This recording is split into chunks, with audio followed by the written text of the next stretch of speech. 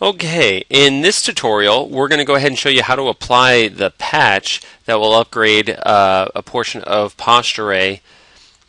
And as we down, we'll download the file from the link that we've emailed you or shared with you. We have a file called PostureRay ext2. What we're going to do is, as the administrator, we're going to go ahead and run this account, excuse me, the um, application and it's going to begin the install process. This is quite easy to begin. You may get a warning pop up here asking you permission to alter the system as well. If you do, just click yes. So here we're presented with the menu and it's quite simply just like you guys have done before. You accept, hit next, and begin the install process. Now the install process is going to begin. Depending on the speed of your computer, this is a quite quick process. However, I'm recording the screen as we do this, and it's a little bit slower.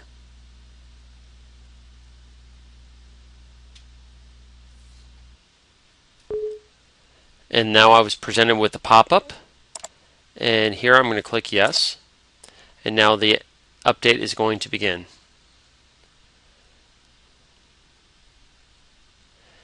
Copying the new files, and then we're going to proceed as it explains. It created a shortcut link right on our desktop over here. You see that.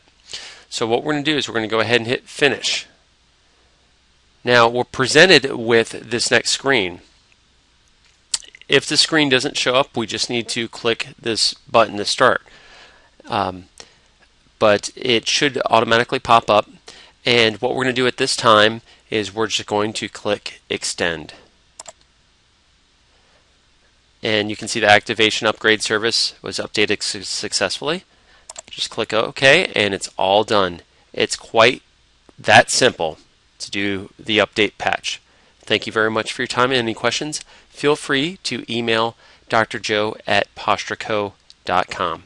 Thank you.